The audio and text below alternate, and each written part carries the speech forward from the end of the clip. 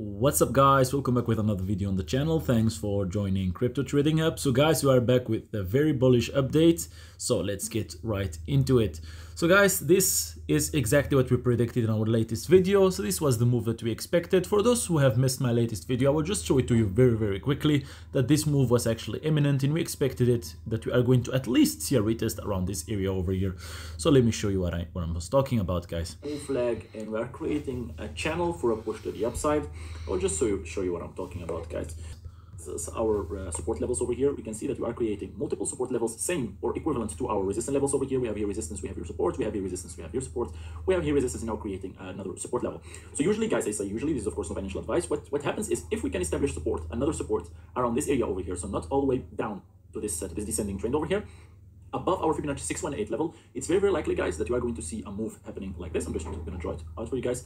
Going to see something happen like this. So a touch, this is our first uh, valley, and then we see a huge push back to at least this level to retest this level up. And that's exactly what's already happening here over here, guys. I can show you the bull flag charts that I posted over here. There, in a bull flag type of channel. so you can see it here on the right. so if we look right now to our chart, guys, if we go to our chart over here and we check what's going on right now. So that's exactly what happened, guys. We saw the retest around this area over here of Fibonacci 618786. We established the, the second retest. We didn't go all the way back to our support level over here, this descending trend. So it wasn't another lower low created and now we are seeing the pushback to the upside. Does it mean right now, guys, that we are going to at least retest this level? It's likely guys this is of course no financial advice but firstly what we need to see guys is we need to see a close above this level over here because as of right now we are pushed above the level but we didn't see a close yet.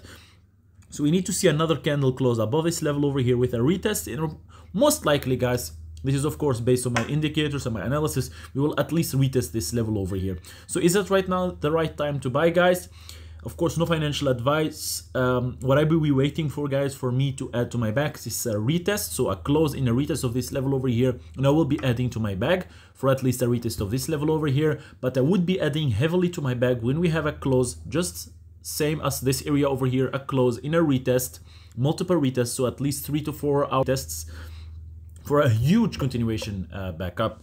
So as of right now, guys, what I would be doing is keeping a very close look at this level over here and this level over here. I would be adding like a 30, 50, and then I would do another 20%. Uh, so right now here, I would be adding 30% of my, um, if I am planning to invest. And then here I will add another 50% if we have some strong uh, support over here, establish some strong support and another 20% somewhere around uh, this area over here. So that's it guys for Jasmy right now. Keep a very very close look at those levels over here. Don't forget to subscribe to the channel so I will keep you up to date so you don't miss any of these pushes over here like the one we have are having right now. I will keep you on a daily basis, sometimes multiple times a day. So as always guys, thanks for the support and peace out.